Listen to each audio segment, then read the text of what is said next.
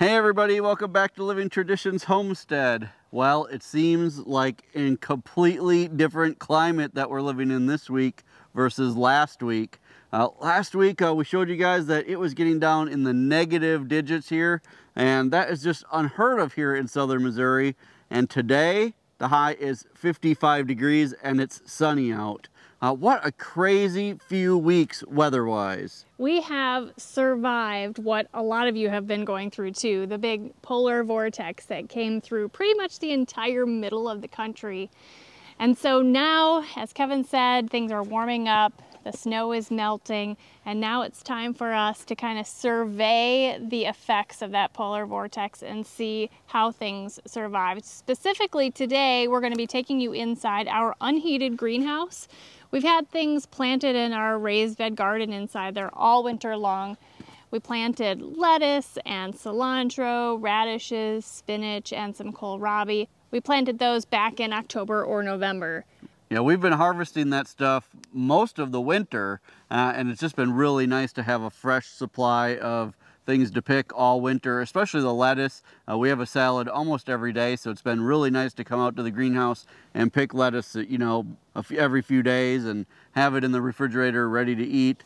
Um, we're just so happy and feel so thankful that we have that. Right. So this greenhouse or high tunnel or whatever you want to call it is unheated. We have never heated these, so we're just trying to use it the best we can and as successfully as we can, just as it sits here. Right, so just so you know that this greenhouse is a 16 foot wide by 32 foot long. It has the roll up sides on it. And this is one of the packages that we got from growerssolution.com. Uh, we've told you guys about them in the past, a great company. And we actually have two of these exactly the same size and we're really happy with the way they work. So let's go inside. We'll take a look at the plants. We want to show you what we did to get them through all of this cold weather, which, spoiler alert, isn't a whole lot, uh, but we're amazed at how they did. Let's go inside and take a look. All right, so we're inside the greenhouse. Now this is our raised bed. This raised bed is six feet wide, 22 feet long, and about 18 inches deep. Uh, this is the raised bed that uh, we're basically using just over the winter. Uh, it keeps everything nice and warm. Now the only thing that we've done this year to protect the plants for most of the winter has been just this row cover. And this is a real thin row cover. Uh, and this is all we've used all winter until just this last week. This last week we decided to also add some blankets uh, that we laid just over the tops of the plants.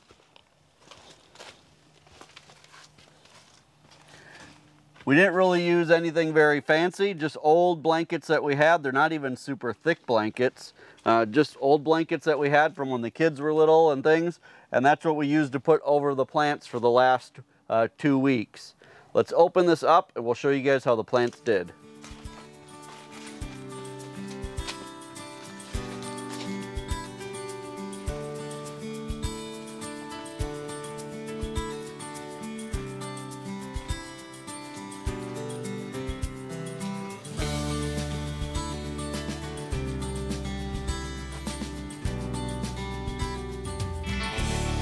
Overall, this lettuce here did amazing. Now it looks kind of choppy here and there because we've been harvesting lettuce all winter long. This, the lettuce that is still growing here was just gorgeous and it still is. We're so surprised at how well it handled the really, really cold weather, but I really do believe that the only reason it looks this great is because we covered this all with those blankets. We're still going to be getting a good harvest off of all of this lettuce for a few more weeks anyway, because soon all of these need to be taken out so we can replant for the spring. So all of this lettuce we made sure to cover with the blankets. We weren't able to cover everything in this uh, raised bed because we just didn't have enough blankets. So let's go down to the other end so we can show you the plants that didn't get covered, what still is alive, what is kind of dying, um, and uh, just see how it goes from there. One thing that really amazed us was our spinach. We didn't cover the spinach because really we didn't have real great germination with spinach this last fall. So we don't have a whole lot of it growing. We've picked a few here, leaves here and there to put in our salads and some to put in soups and things. But in general, we were willing to risk whether or not it would do okay. Uh, we really thought the frost would get it because, like I said, it was uh, a couple nights down in you know negative 10 degrees Fahrenheit, and that's pretty darn cold inside of this greenhouse. But look, the spinach actually made it through that cold weather uh, without being covered at all, other than just this thin row cover on top of the bed. So next in this raised bed we have our radishes and some kohlrabi. Now the radishes really had gotten overgrown. They were too big. They were getting kind of woody. So we decided not to cover those at all. At this point, they'll just become pig food. The pigs will absolutely love them. So no big shocker that those pretty much got wrecked by the frost. Now the kohlrabi, on the other hand, we really thought because they're in the brassica family that they would, uh, you know, that they would do okay, that they would probably make it through. Uh, but unfortunately, they didn't make it through either. Uh, it looks like they pretty much got destroyed by the frost. But again, we'll pull those up. We'll give those to the pigs. Not too big of a deal. Uh, we're going to be replanting all of this stuff for spring in just a few weeks anyway. So uh, those two things we didn't cover, and they pretty much got destroyed by the frost. Now this last row we did cover with a blanket, and that is our cilantro and it did really well. Now it looks a little bit smushed and it doesn't really look the greatest and really that's because of the weight of the blanket that we had on there, but it survived really well with the additional protection of that blanket. Now I can come out here and cut this all and preserve it and put it in the freezer so that I can pull that out and use it in our salsas during the summer. There have been a lot of people who've been wondering if this kind of a system, an unheated greenhouse, would work in their climate, especially in more northern climates than here in southern Missouri. Wisconsin, northern Wisconsin, maybe southern Canada. Can you get away with using an unheated greenhouse and can you grow things over the winter? And I hope that this will give you all some hope that you can make this work maybe blankets on top of your lettuce and your plants, you know, that probably wouldn't be good for the entire winter. But this should, this should give you guys hope that you can grow in the middle of the winter without having to spend a ton of money on energy, fuel to heat a greenhouse like this. It can be done just with a little bit of extra effort and maybe a little bit more research. Now, of course, everything that we're growing in here right now, it's they're cold weather plants. We're not uh, trying to grow tomatoes and peppers and, and those kinds of things because those really cannot grow through this kind of weather, even with the extra support of a blanket. Uh, now that is why uh, we did move a couple really sensitive plants that we had in here into our sprout house just temporarily to get them through this super cold spell. Uh, we have some artichoke plants and some rosemary and thyme that we moved those buckets. I do want to bring those back out because the weather is going to get nice enough that they'll be able to survive the, the cooler evening temperatures. Uh, so keep that in mind when planning what to do over the winter. And we're gonna go grab those plants and bring them back into the greenhouse.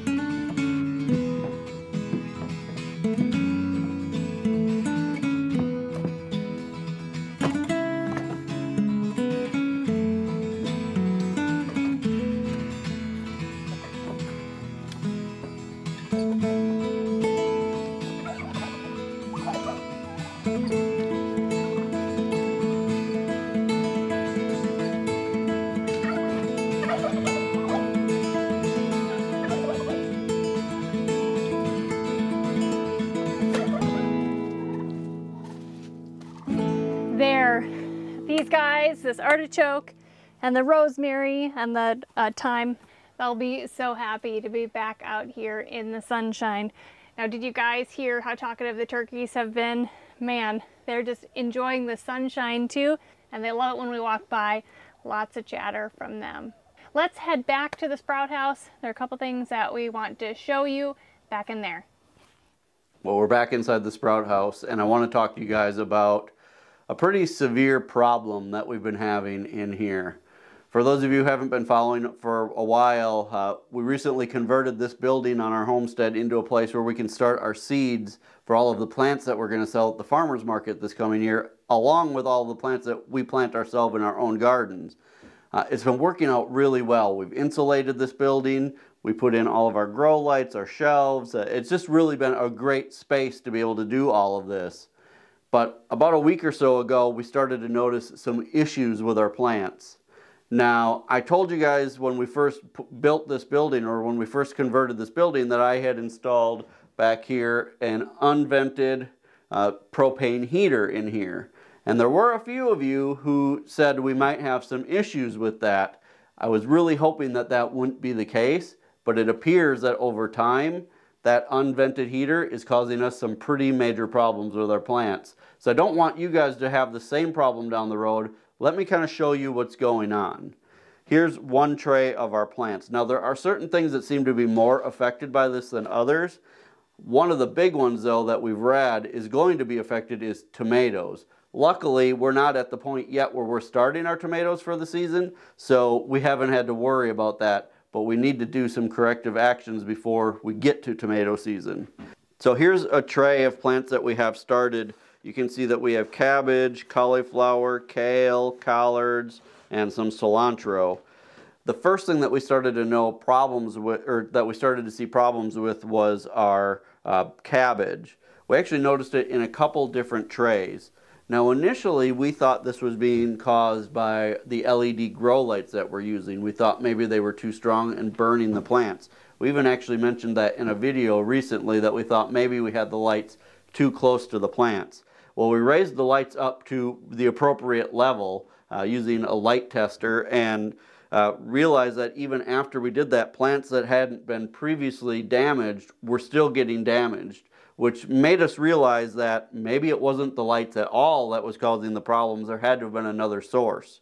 I remembered some of you mentioning that we might have a problem with the unvented heater, and that got me digging further into what some of those problems could be.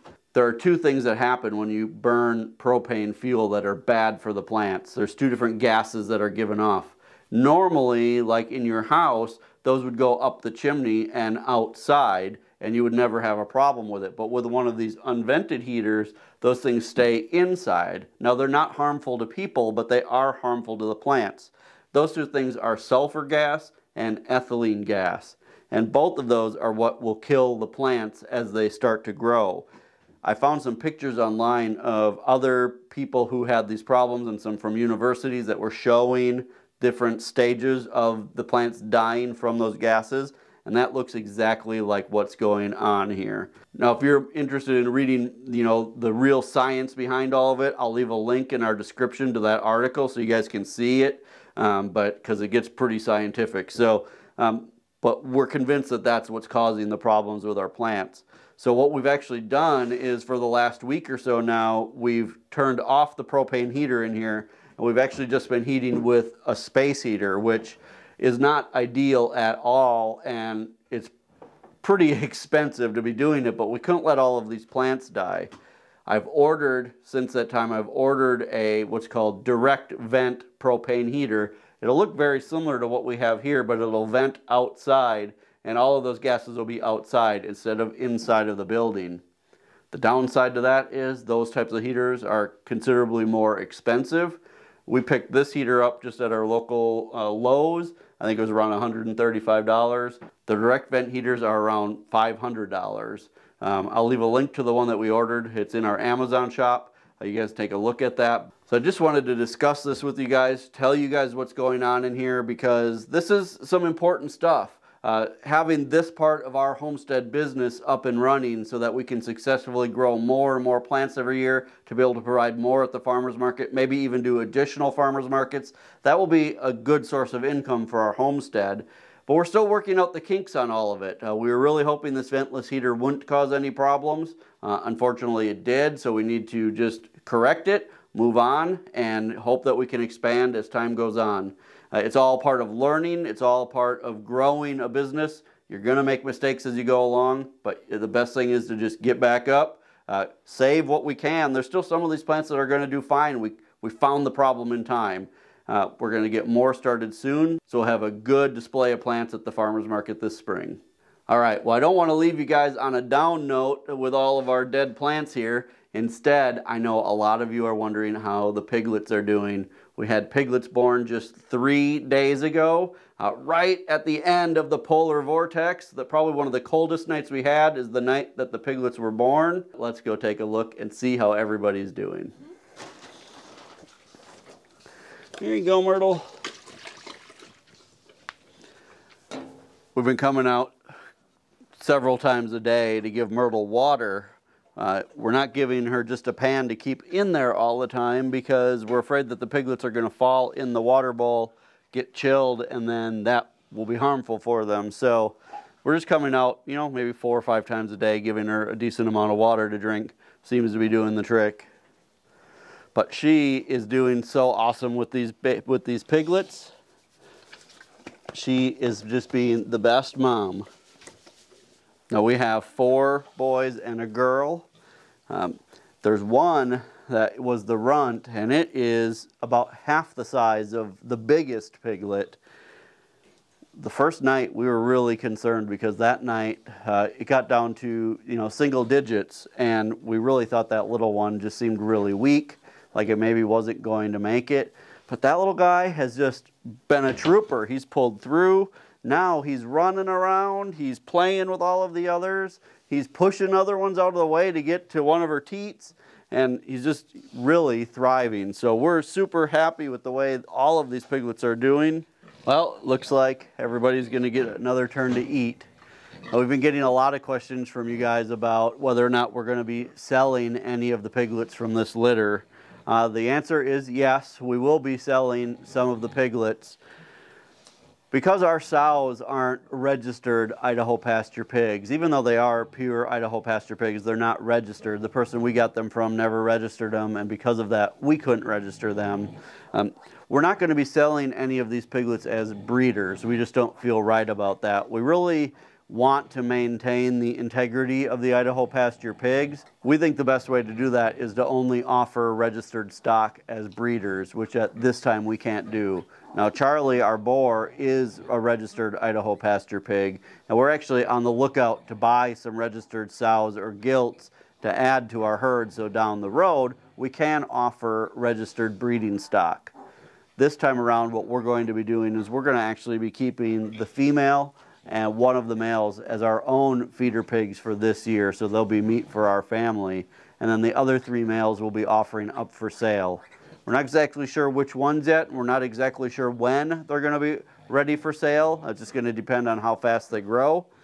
So when we get ready to do that, they'll be listed on our Facebook page. Um, I'll tell you guys, we're getting a ton of emails about it. Uh, at this time, we're not taking pre-orders. We're not doing any of that. Now, the best way for you to do that is to look for our Living Traditions Homestead Facebook page and follow us there so that you can see when we have them for sale.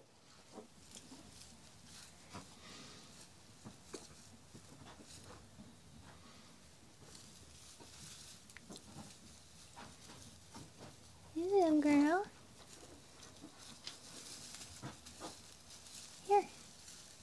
It looks like they're getting used to us. That's good. We want them to be tame. You know how nice these pigs are.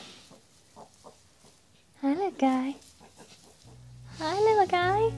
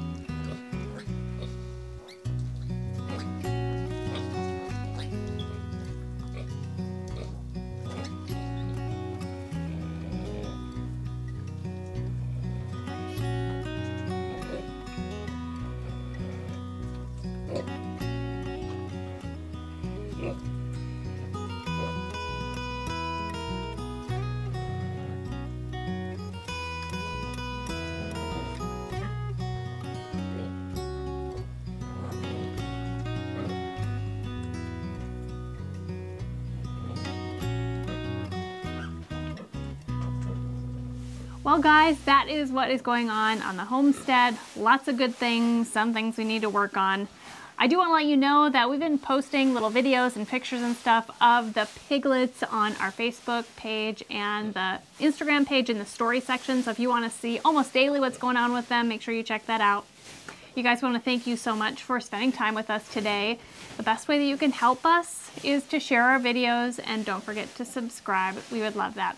Until next time, thanks so much for stopping by. Take care and God bless. God bless.